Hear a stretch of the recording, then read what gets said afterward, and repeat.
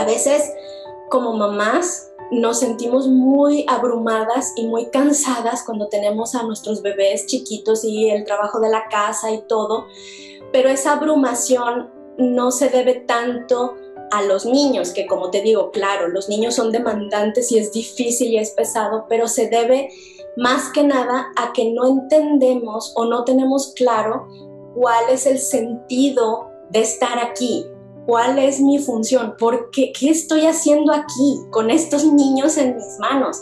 A veces solamente mm, llegamos a la maternidad de manera circunstancial y entonces solamente pues ya tenemos al niño aquí y, y nos esforzamos día con día pues para mantenerlo vivo, ¿no?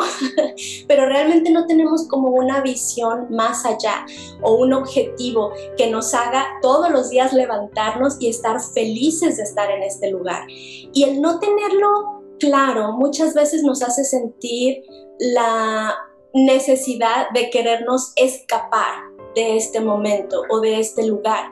Y entonces estamos buscando cualquier oportunidad, como salirme a inventar un negocio, un proyecto o, en el teléfono, estarme escapando de este momento. Y sientes a veces que las actividades que estás haciendo todos los días de cambiar pañales y, y, dar biberones y limpiar la casa y estar jugando en el suelo con los niños, sientes como que no son tan importantes o como que no te están llenando tanto y como que tú tendrías que estar haciendo cosas más importantes.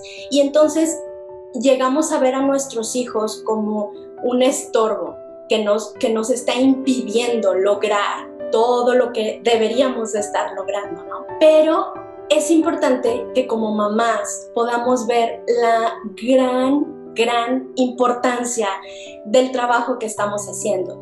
Y eso yo, cuando mis hijos estaban chiquitos, yo hice una reflexión profunda de pensar eso. Yo quiero tener hijos no porque me gustan los bebés o porque tengo paciencia para los bebés. Yo quiero tener hijos porque yo quiero aportar miembros a la sociedad, yo quiero formar un ser humano y la verdad es que a mí no se me ocurre una profesión más importante que esa.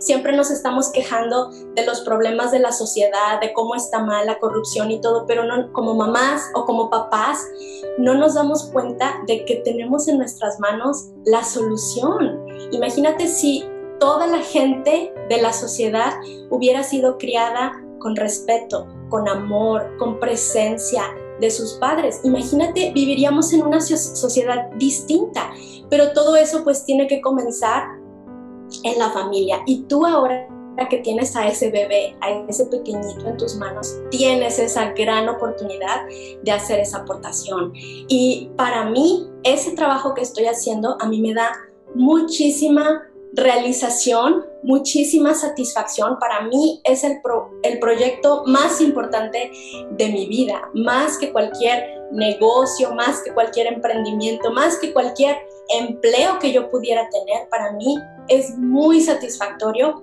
esto que yo estoy haciendo y esto que yo estoy aportando al mundo.